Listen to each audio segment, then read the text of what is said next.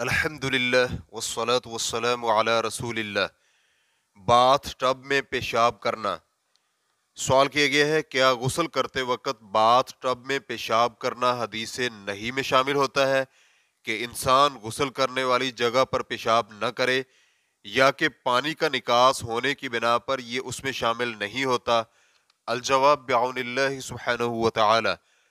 ہم نے یہ سوال فضیلت الشیخ محمد صالح العثیمین رحمہ اللہ کے سامنے پیش کیا تو شیخ رحمہ اللہ کا جواب تھا، نہیں، یہ اس میں داخل نہیں ہوتا، کیونکہ جب وہ پیشاب کرے گا تو اس پر پانی بہائے گا تو لامحالہ وہ پیشاب وہاں سے زائل ہو جائے گا، لیکن اسے اس وقت تک غسل نہیں کرنا چاہیے جب تک پانی بہا کر وہاں سے پیشاب دور نہ کر لے۔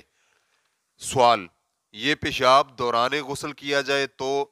جواب عادتاً پیشاب کسی اور جگہ کیا جاتا ہے، لیکن فرض کریں کہ اگر انسان کو غسل کرتے ہوئے پیشاب آ جائے تو وہ غسل کرنا ترک کر دے اور پہلے پیشاب کر کے اس پر پانی بہائے۔ فتوی شیخ محمد بن صالح العثیمین، واللہ تعالی اعلم۔